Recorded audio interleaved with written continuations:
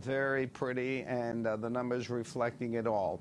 85 degrees, 82 degrees in Newburgh, 79 in Islip, the water temperature in at 72, Belmar's in at 80, 87 degrees in Plainfield. Let's go to the north. Uh, Cold Springs, you're going to have the fireworks uh, in the Hudson. They have their own barges, they have their own setup. South facing shore of Long Island, you'll have it.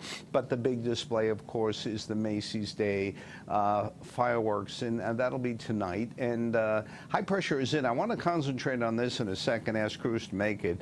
Again, a dome of high pressure across the Midwest. This is the real, real warm stuff.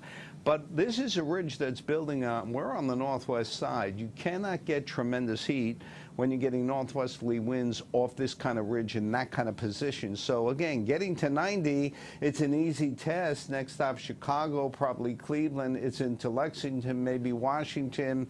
Uh, but again, it's hard pressed to sustain this effort. The dangerous heat continues across the Midwest, 35, 40 million people under that, and the heat will creep and crawl in our direction, but probably not get in here. Tuesday, we're going to be in the 80s. On Wednesday, we're going to be in the mid 80s. Not too shabby at all, especially for the month of July. A warm front comes in tomorrow. There'll be widely scattered showers tomorrow, late day. I don't think they're that impressive, but if you get popped by a storm, that can easily happen. All right, for the fireworks, hit it, Oshua. Keep it going, 925 it starts.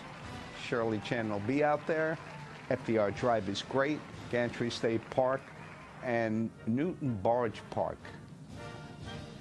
70 degrees. Here, play it. Tuesday, Wednesday, Thursday.